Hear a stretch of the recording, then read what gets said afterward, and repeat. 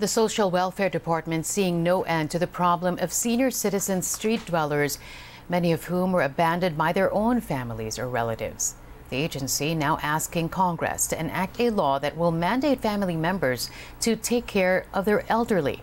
For discussion on this, we're now joined by George Banal Sr. He is the president of the Federation of Senior Citizens Association of the Philippines and the National Capital Region.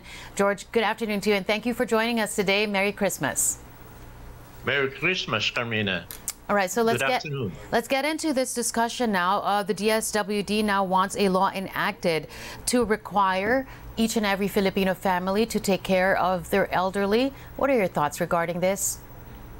Uh, I think that's uh, great, no? However, we cannot just uh, compel or mandate uh, families to take care of their uh, uh, parents or the senior citizens.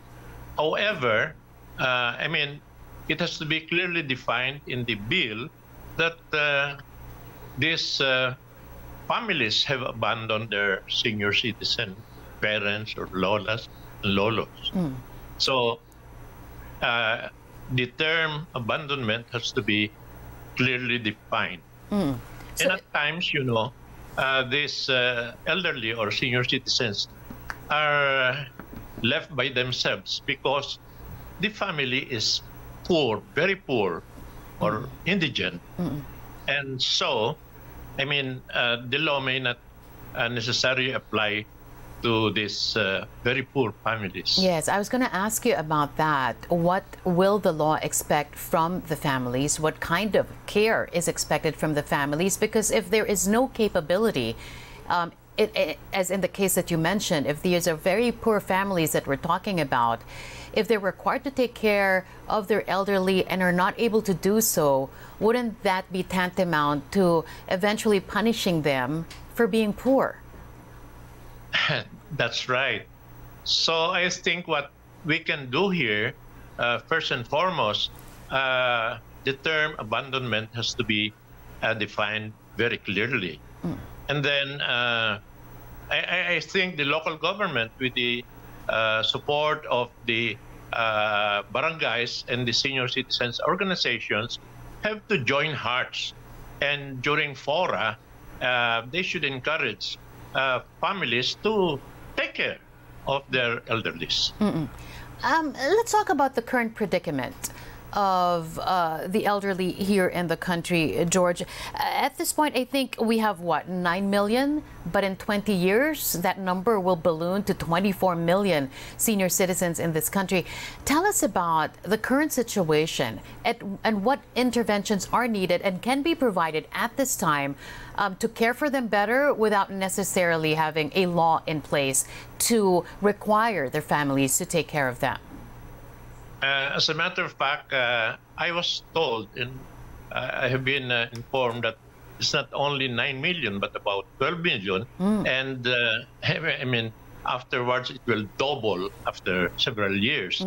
So, as I was saying earlier, uh, the local government, with the support of the uh, Barangay uh, Council and the Senior Citizens Federation, should uh, hold events, uh, orientation events, wherein uh, families should be invited so that they'll be properly oriented to take care of their elders. But but uh, currently, what are the needs, and what are the interventions that can be done at this point? Well, uh, the local governments are taking care of this because, you know, through the PhilHealth and through other foundations, uh, elderlies are given a free medical checkup and uh, many benefits.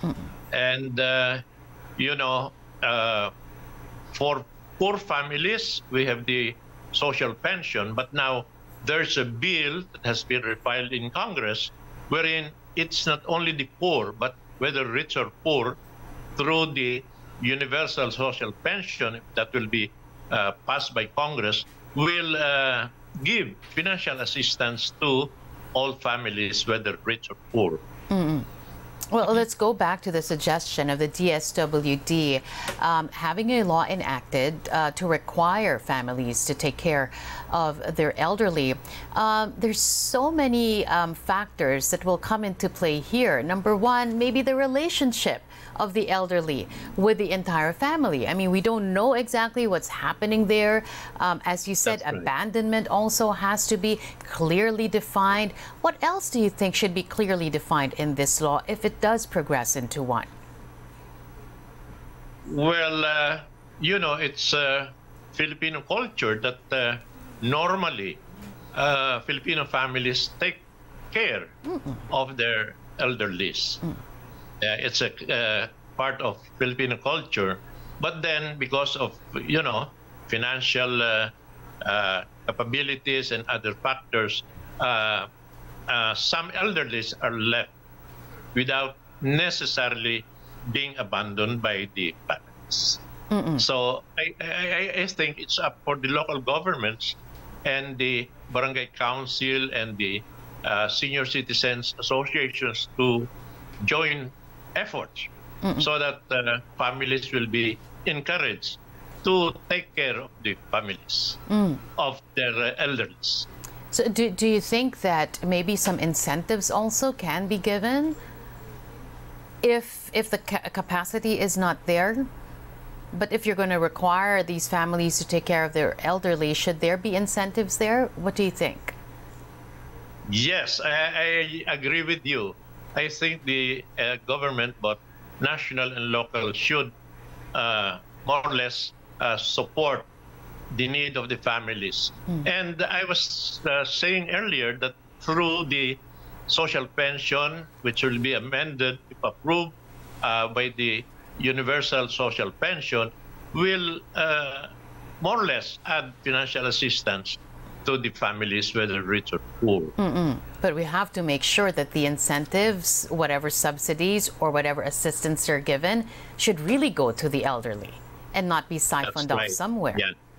By the way, uh, our uh, national and local governments are having uh, additional benefits, and uh, through the PhilHealth, for example, medical assistance is uh, given for free, and uh, in most local governments, they give additional uh, assistance to families. No, let's let me just go back to one point that you made uh, before we let you go, George. You said a while ago that it's really part of our culture to take care of our elderly. So, if it's part of our culture, why institutionalize it by way of this bill? Well, because uh, some families uh, do not observe the Filipino culture, and so I mean, uh, uh, our uh, there has to be a law that should more or less uh, emphasize the need for families to take care of their elderly because during their younger years, these elderly, I mean, contributed much to supporting uh, their younger uh, family members. So they owe it to the elderly to return uh, the care and support that the senior citizens have given them when they were as young. We're going to have to leave it at that. George Banal Sr., there, president of the Federation of Senior Citizens Association of the Philippines in the National Capital Region. Pleasure talking to you, George. Merry Christmas to you and the rest of Yeah, your we family. will we will support the bill, Yeah, take care. Ermina. Thank you. All right, take care.